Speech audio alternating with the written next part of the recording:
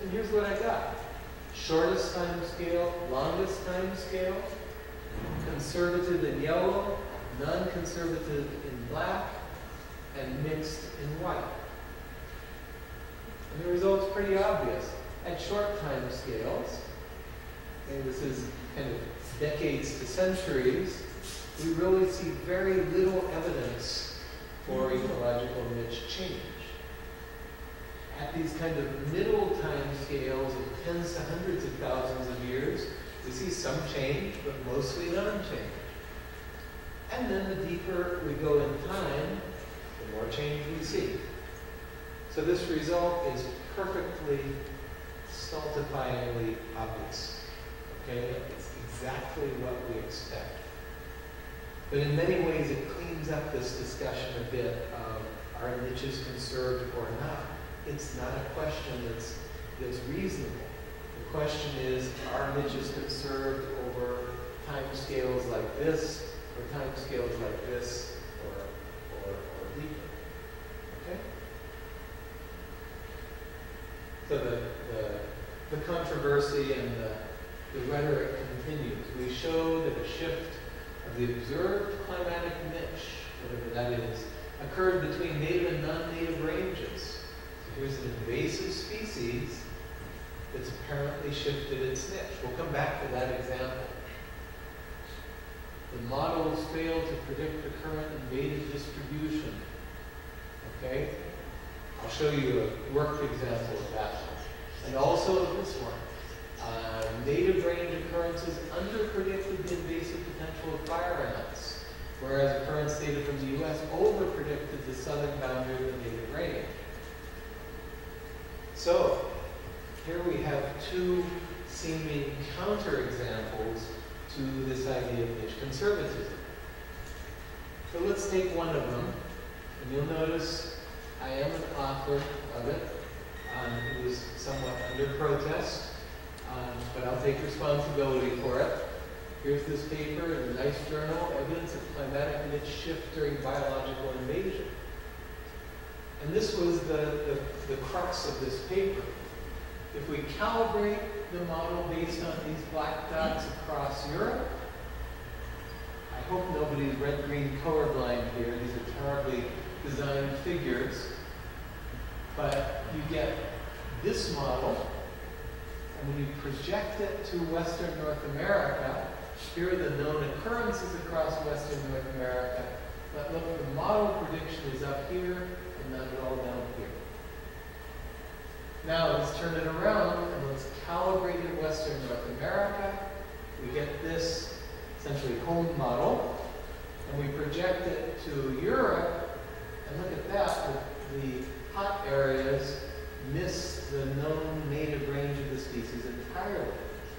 And so the argument was that's pretty obviously a niche shift.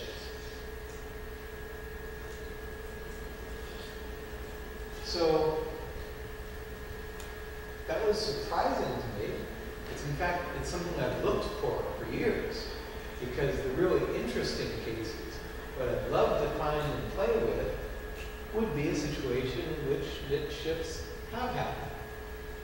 So here's a real reanalysis of the same data. This is basically so that I could make sure that, that whatever system I was using would reconstruct that initial result. This is uh, the European model predicting into North America, and you can see it misses. And this is the North American model predicting into Europe, and you can see that it misses. This is based on, remember those folders that we gave you that have 19 bioclimatic variables in them, right? This is based on uh, the 19 world bioclimatic variables. Now, I redid the analysis using only seven. Sorry, five. And look at that The coincidence is very good. This is the European model projected to North America. It gets all these details of where the species is in North America. And here's the North American model projected to Europe, and it gets everything except these points right quite good coincidence. That's quite good coincidence. And that's quite bad coincidence, and that's quite bad coincidence. So what's going on here? Okay, It's overfitting. Let's look at another example. We have this, why does the introduced range of the fire ant overpredict its native range? And the clear inference is that niches have changed during the invasion process. And so with one of my former students, uh, I put together a reanalysis of the situation. And I hate to say it, but the authors came back and argued data sets matter, but so do evolution and ecology. But watch what the reanalysis this paper showed.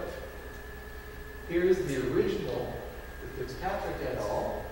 And essentially you see the native range in South America, there are points there, predicting the invaded distribution in North America, and only getting this Gulf Coast rim, and not getting up to the true limit of where fire ants reach. And on the other hand, you can take the, the invaded range, build a model, and project it onto the native range, and you see it misses to the south. Right? Watch the reanalysis. We use six different environmental data sets, and basically when, when they are highly dimensional, and they have lots and lots of coverages, like the famous 19 world clim variables, yeah, it misses, just like the original uh, analysis from Fitzpatrick et al. But when we use smaller data sets, notice we're right on. So what we showed is that instead of needing to come to a rather impressive and surprising biological conclusion, we have methodological explanations for both of these papers that purported to find ecological niche differences. Okay? And if there's an artifact, if there's a, a methodological detail that can produce a result, there's no reason to invoke evolutionary change. So, where are we getting all this? We have all of these different points of view where I really felt like some research groups looked at a species or a lineage and always saw niche change. Other research groups looked at lineage and always saw niche conservatism. Remember I told you I made a mistake? Well, I did. In that science paper, we were testing one null hypothesis. And a lot of these other papers that I've listed for you were, were testing a very different null hypothesis. We were testing the null hypothesis these two niches were more similar than you would expect by chance. In some of the other studies, as I'll show you in a moment, we're, study, we're, we're testing a null hypothesis that these two niches were identical. Think about it. You can be non-identical, but still surprisingly similar. That's the reason for the confusion. And had I been thinking better, I might have been able to argue more effectively earlier. So Warren and all come along and argue that these two null hypotheses have been uh, used by different research groups. So again, Enrique, your computer is on the table, and Enrique answers, no, the curtains are in the window. Okay? We were talking about different things. Uh, the other thing that Warren et al. did was to offer some quite interesting quantitative tools for uh, testing each of these null hypotheses, for testing niche identity and for testing niche similarity. So in some ways, what I put in these different bars is a little bit deceptive because to some degree, they're apples and oranges mixed in there. But here, here's what it really comes down to. I showed you the, the Europe, North America study by Broennimann et al., and I showed you the fire ant study by Fitzpatrick et al. And these are visualizations in environmental space. And what both of these studies tested was whether, this is the native population and this is the invading population, whether the, the inertia, the, the central tendency of this cloud and the central tendency of this cloud are identical. And the answer, pretty obviously, is no. And Fitzpatrick et al. tested whether these, I don't know which is which, but essentially whether uh, the, the different clouds that you could see there are identical. Okay? And again, they're right. They're not identical. So now let's play with this difference between identical and similar. So I'm going to go back, remember my Lawrence species, right? The climates that are closest to Lawrence, Kansas in terms of North American climates. And so that's what similarity to Lawrence looks like.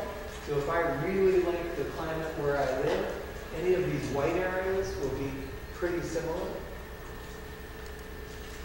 And so I imposed a cutoff of similarity and created a distribution, right? That is the set of areas that correspond to this fundamental niche that I just created. And then I thought like a biogeographer, and I decided ah, that's enough of a barrier that my population's over here, turned into a different species. Now remember, the blue species and the green species came from the same niche, the same very simple circular niche in environmental space. So right off the bat, no niche evolution has taken place. No niche differences exist. So I'm going to use a niche similarity test. I'm not going to go into the details of this. We can, we can uh, get you copies of the Warren et al. paper. Yeah, so you have this in your, in your literature store. But essentially what we do is we, in both of these, we generate a null distribution of um, similarity if there were no special relationship between the two niches, and then we look at the observed. And so this is similarity from low to high. And so in a niche similarity test, what we see is that those two, the niches associated with those two distributions, the observed is quite high relative to the distribution. And so we have evidence for what we would call significant or surprising niche similarity. Okay? So they're similar. They're more similar than you would expect by chance. Are they identical? So same deal, this is the null distribution, and this is the observed. They are much less similar than you would expect by chance if you were asking a question of niche identity. So get, get a load of this. The same two distributional areas can be simultaneously not identical, but surprisingly similar. Okay? Let's take a different example. This is a, a quail, uh, like francolins here in Africa. Uh, this is a quail in, in North America. And I derived two data sets for it. One, these, these X's that you can almost not see, those are from uh, an organized observational uh, uh, census project that's been going on for about 50 years. And these dots are from uh, specimens in museums. But notice